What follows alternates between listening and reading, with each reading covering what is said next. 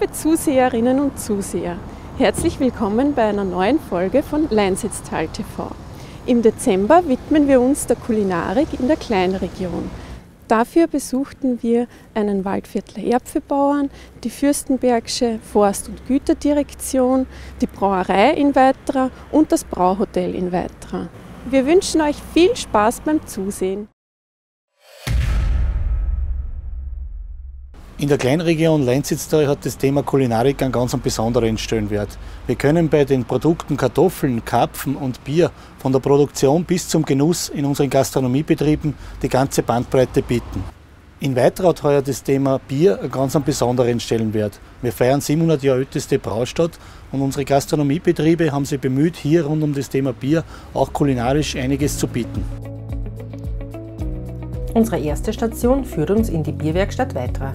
Dort erzählt uns der Braumeister Heinz Wasner, wie das Bierbrauen funktioniert. Zur Bierherstellung brauchen wir ein paar Rohstoffe wie Wasser, Hopfen und Braumalz. Und jetzt hätte ich gesagt, starten wir mal einen Rundgang durch die Brauerei, fangen wir mit dem Sudhaus an, da wo wir aus dem Braumalz dann mehr oder weniger die Würze machen, die dann die Basis für das Bier ist. Der ganze Vorgang da im Sudhaus rennt relativ vollautomatisch ab. Die Mitarbeiter überwachen den ganzen Vorgang, was da passiert, dann die Rohstoffe bereitstellen, äh, äh, dann die Rezepturen einstellen, was wir brauchen und kontrollieren halt, dass das einwandfrei funktioniert. Wir haben jetzt da sechs offene Gärbottiche. Das heißt, die Würze, die im Sudhaus produziert wird, wird dann abgekühlt, wird dann mit Sauerstoff belüftet und wird dann mit Hefe versetzt. Und in diesen Bottichen findet dann die alkoholische Gärung statt. Nach einer Woche ist das alles fertig vergoren und dann wird das Volumen des Gärbottichs in einen der Lagertanks gepumpt, was wir drüben gesehen haben. Wenn die Biere dann da fertig sind, dann kommen wir mit dem Tankwagen, holen das Bier dann da aus weiter ab, fahren mit dem Bier nach Zwettel. In Zwettel wird das Bier dann filtriert und in Flaschen und in Fässer abgefüllt und auf den Markt gebracht. Wir machen hier in Weiter machen wir drei Biersorten. Wir haben unser Hartmann Bio-Bier, wir haben das Weiterer Hell und jetzt zu 700 Jahren heuer haben wir dann ein schwarzes gemacht. Das schwarze, ein schwarzes Bier mit blonder Seele. In den letzten beiden Jahren wurden insgesamt 4,5 Millionen Euro in die Modernisierung der Brauerei investiert. Rechtzeitig zum Jubiläumsjahr 700 Jahre Braustadt Weitra konnte der Umbau abgeschlossen werden. Jetzt sind wir im ganz dem alten Teil der Brauerei. Da waren früher die Lagertanker gestanden, die alten. Und dann wird es zu unser Spezialmalzlager. Da lagert jetzt die Sackware, die wir brauchen für unser Habmer Bio-Bier.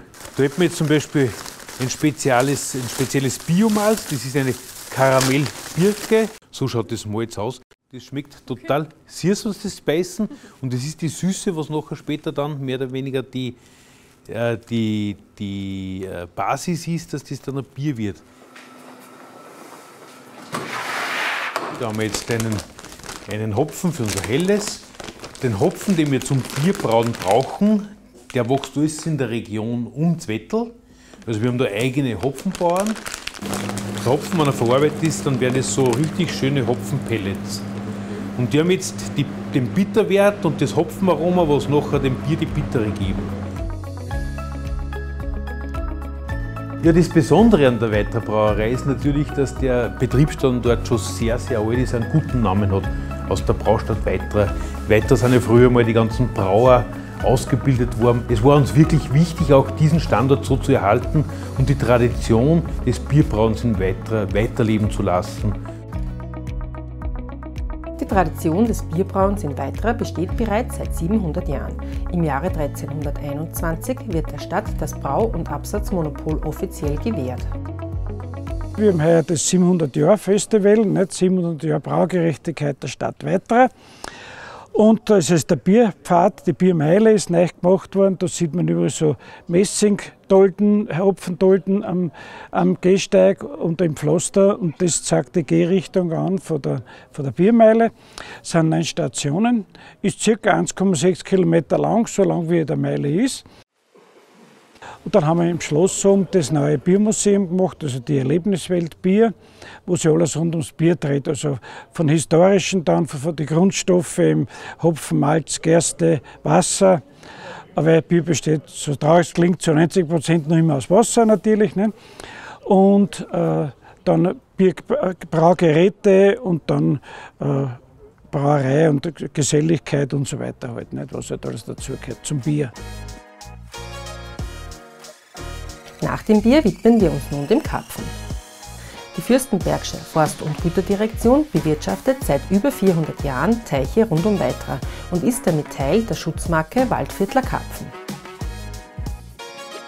Im Waldviertel äh, wird äh, Karpfen seit dem Mittelalter gezüchtet. Äh, in Weitra zum Beispiel die ältesten Teiche datieren zurück auf zweite Hälfte 15. Jahrhundert. Und es hat sich eigentlich in der Bewirtschaftungsweise seit dieser Zeit nicht viel geändert. Das heißt, es ist nach wie vor Handwerk, das heißt, viel Handarbeit ist notwendig. Äh, es ist die Karpfenteichwirtschaft arbeitsintensiv, vor allem an manchen Tagen im Jahr, wo man dann wirklich äh, große Herrscher an, an Menschen braucht, die, die helfen beim Abfischen etc.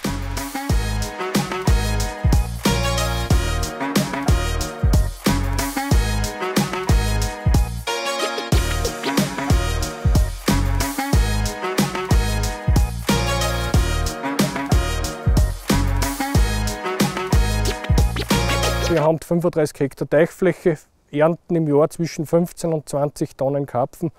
Und von diesen, sagen wir mal 15 Tonnen, sind ca. 2,5 äh, Tonnen, also 2500 Kilo Fisch, was wir in der Weihnachtszeit verkaufen. Es ist bei uns nicht mehr, weil wir den Fisch zur Gänze selbst vermarkten. Das heißt, wir haben jeden Freitag im, im, im Jahr, also 52 Freitage im Jahr, unseren Detailverkauf offen, schlachten da auch. Aber das Geschäft wenn man es so nennen darf, geht gut. Das heißt, die Leute schätzen die Regionalität, schätzen die gute Qualität. Äh, es wird aber auch die Tradition hochgehalten und darum doch der relativ hohe Anteil an Karpfen, der zu Weihnachten äh, über den Schlachtraum und über den Verkaufstisch geht.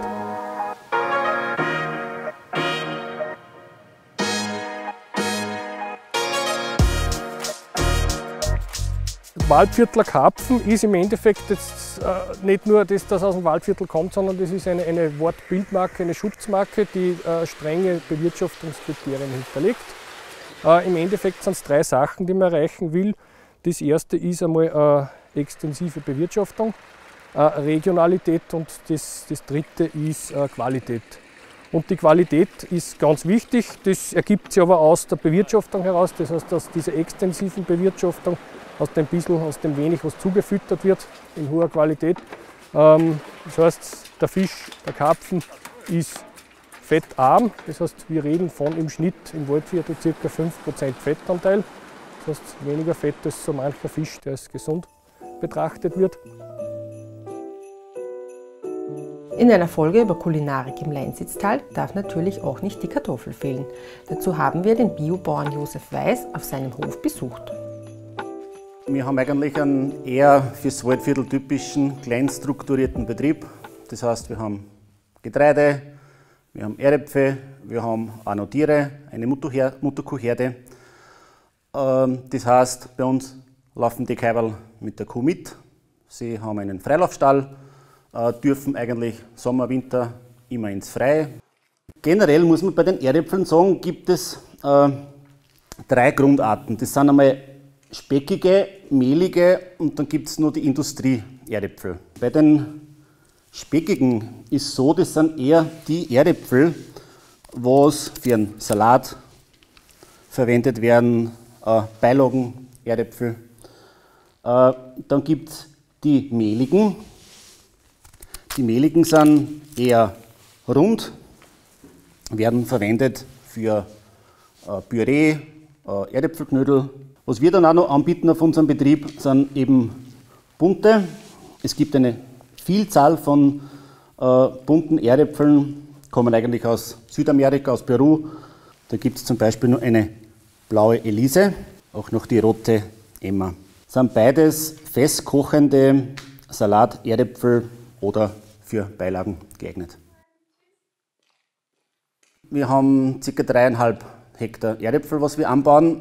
Eineinhalb Hektar davon ist Saatgut, das was für eine äh, Saatgutfirma erzeugt wird. Der Rest wird bei uns direkt am Hof äh, vermarktet. Das heißt, teilweise über Internet verschickt. Wir haben Stammkunden, die was jedes Jahr äh, zu uns kommen. und wir haben auch Großküchen, die wir dann eigentlich regelmäßig beliefern.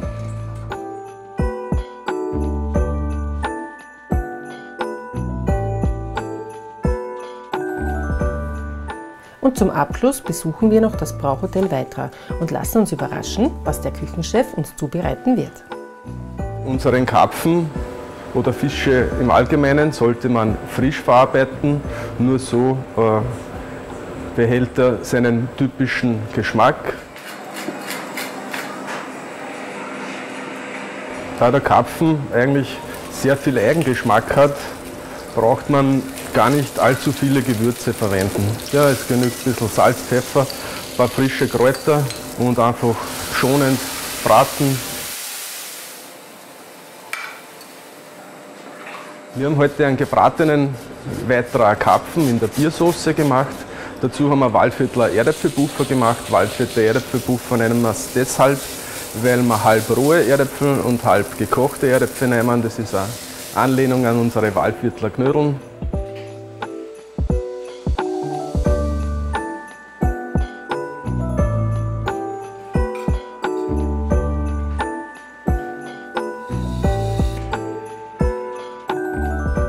Ja, durch den Einbau in das ökologische äh, Kreislauf von Bad Habach ermöglicht es uns halt saisonale kulinarische Köstlichkeiten wie zum Beispiel Erdäpfeln, Kapfen und so anzubieten, frisch von Biobauern. Ähm, des Weiteren haben wir spezielle Biere wie zum Beispiel unser mildsüffiges Hausbier.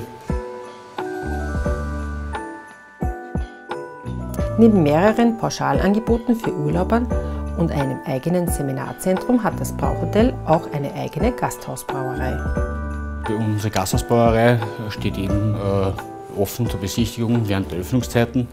Mehrmals pro Woche bieten wir auch äh, Führungen an und mit Wein äh, Bierverkostungen.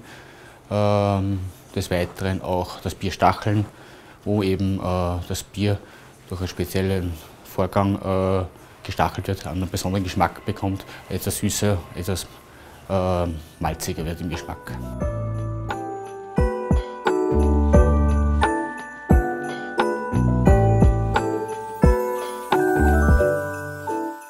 Wir wünschen euch einen guten Start in das neue Jahr und freuen uns, wenn ihr auch beim nächsten Mal wieder einschaltet.